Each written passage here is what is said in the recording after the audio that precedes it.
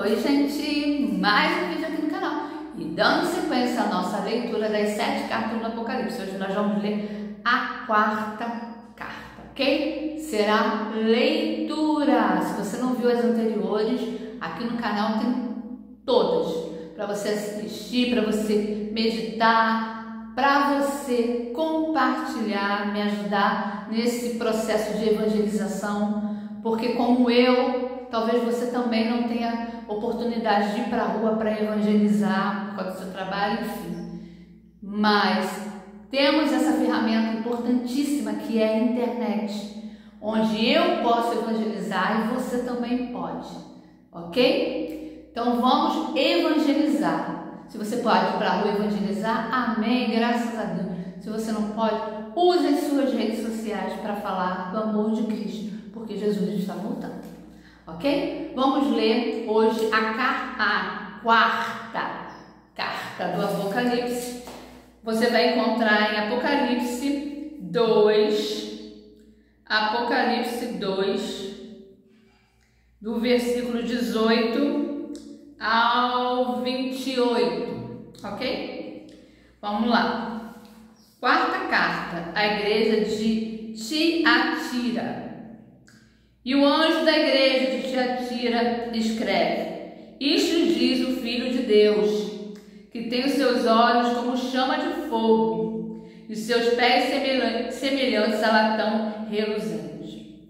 Eu conheço as tuas obras, e a tua caridade, e teu serviço, e a tua fé, e a tua paciência, que as tuas últimas obras são mais que as primeiras.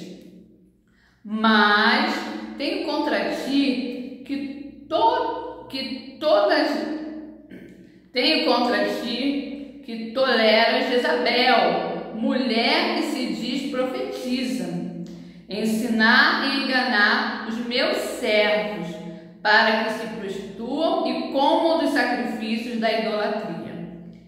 E dê-lhe tempo para que se arrependa se arrependesse da sua prostituição e não se arrependeram.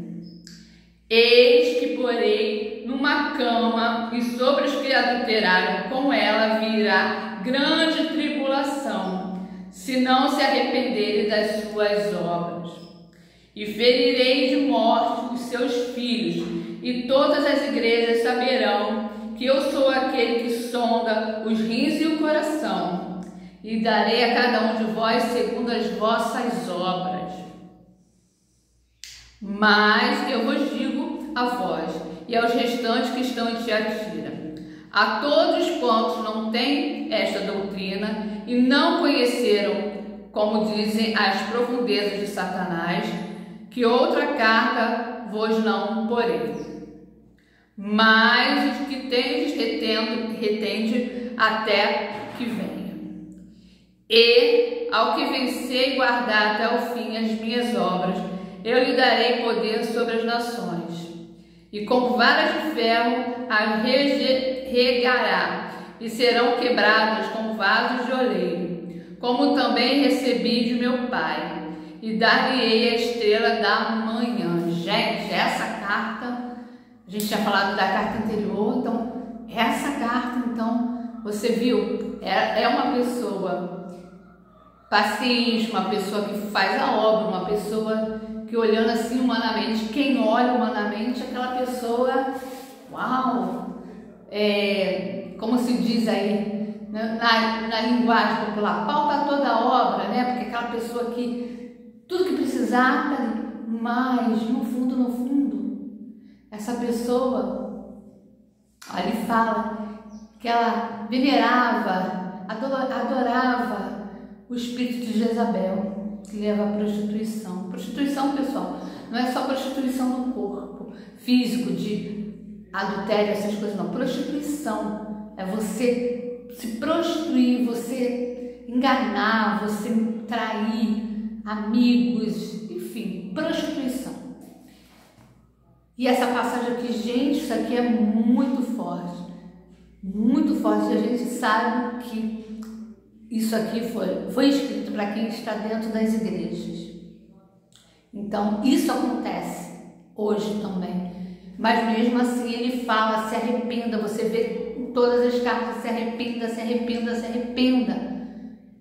Gente, pra, tem solução, tem jeito para todo mundo, mas só vai ter jeito, solução, salvação se tiver arrependimento. É o que está aqui, gente. Não tem nem o que falar, vocês vão ver falar de tantos vídeos sobre arrependimento, porque está escrito aqui.